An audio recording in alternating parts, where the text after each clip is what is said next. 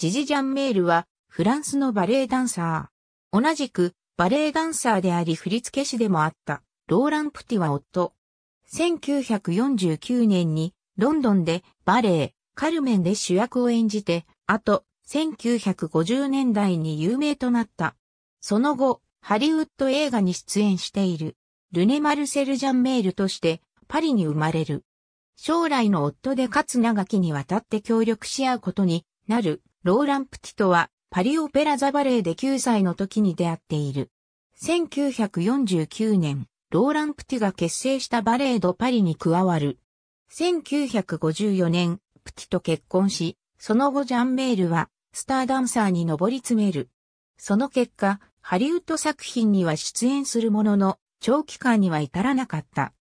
ハリウッド作品に出演する場合には、出演者一覧に、ジャンメールとだけ記されているが、映画、ハンス・クリスチャン・アンダーセンや映画、エニシング・ゴーズといった作品が挙げられる。その後活動をバレエに絞り、プティと共に60以上の作品を制作することになる。1960年代以降は音楽の分野でも活動している。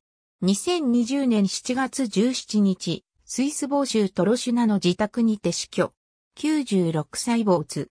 ジャンメールとプティには娘が一人いる。娘のバランティーヌ・プティはダンサーであり、女優でもある。ピーター・サーステッドが作詞した歌、Where Do You Go To? の中にジャンメールが登場する。第一行目に、君はマレーネ・ディートリヒのように喋り、ジジジャンメールのように踊る。服は全部ピエール・バルマンで、髪にはダイヤモンドと真珠が散りばめられているとある。ありがとうございます。